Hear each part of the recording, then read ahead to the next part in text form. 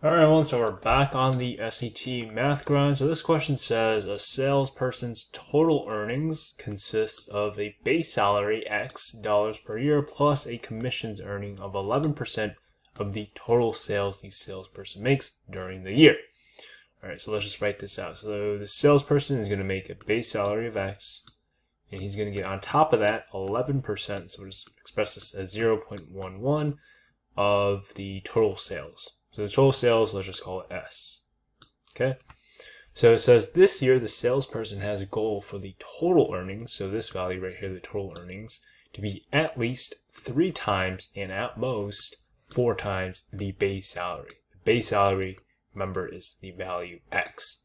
Which the following inequalities represents all possible values of total sales S in dollars the salesperson can make this year in order to meet that goal? So we just have to write our inequality out. So I'm actually just going to erase this and write our inequality.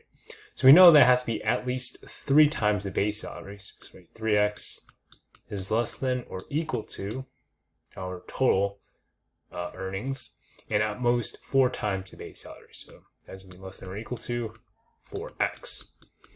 All right, so now that we're looking at our answer choices, none of them actually line up, right? C is similar, right, with 3x and 4x, but it just has s in the middle, whereas we have x plus 0.11s.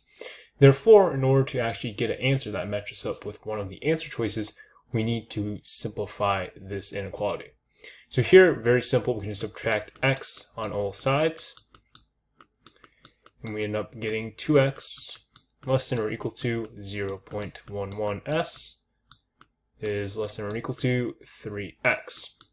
And now again, we want to isolate for s because you see in all these answer choices, s is by itself in the middle as the uh, total sales.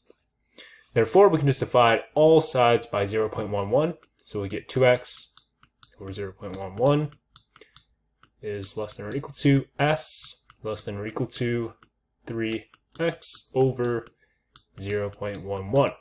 And we can see that this answer choice right here lines up directly with answer choice B, and therefore that is our answer. So that does it for the video, guys. Make sure you check out our other SAT math prep videos, and I'll see you in the next one.